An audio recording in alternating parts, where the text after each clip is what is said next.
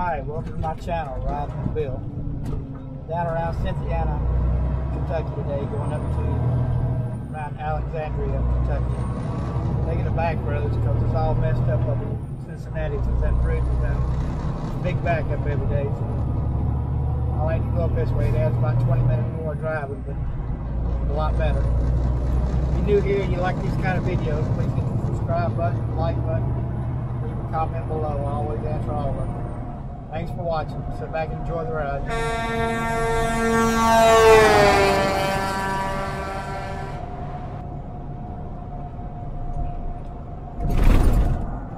Nice little ride, scenic route.